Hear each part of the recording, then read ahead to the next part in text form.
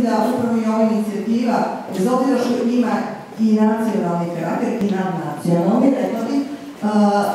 prosto mislim da je važno da taj lokalni aspekt bude jako zastupljen. Mislim da je opština Pirot jedan baš dobar primjer koji je na osnovu jedne vrlo ozbiljne analize koja je rađena tokom ove godine sagledala položaj, znači položaj Romkinja i u okviru znači lokalne opštine usvojila lokalni akcijni plan za ekonomsko osnaživanje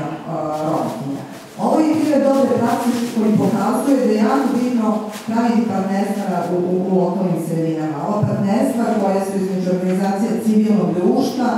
između, lokal, između lokalnih institucija i drago mi je što se upravo ovaj forum ovdje dešava koji pokazuje da ne samo nije pitanju dobra volja, nego opredeljenost, znači da se, da se bavi ovim problemom. A, I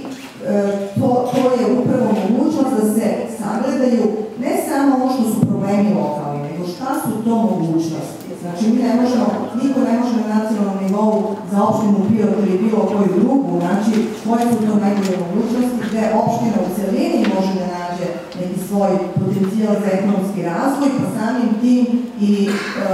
što se tiče konkretno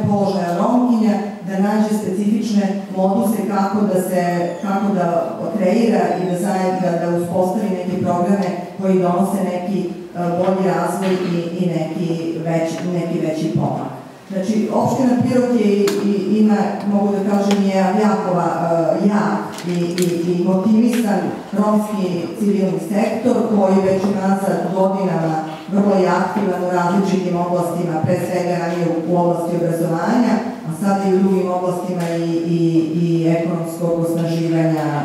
romske zajednice.